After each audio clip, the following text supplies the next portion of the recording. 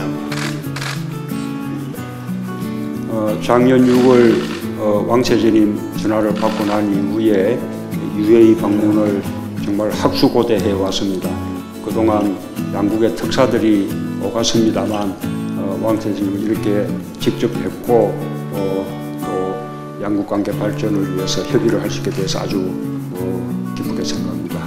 이 아름다운 어, 대통령궁에서 어, 왕세제님이 외국 손님을 만난 게 몇 번 되지 않는다고 하는데 에, 이분의 저를 이 새 대통령국에서 맞아주신 것에 대해서도 그 배려에 감사드립니다.